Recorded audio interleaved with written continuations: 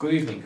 My name is Daniel Egielman, and I would like to welcome you to another concert as a part of Brussels International Guitar Festival, one of the biggest guitar festivals in Europe.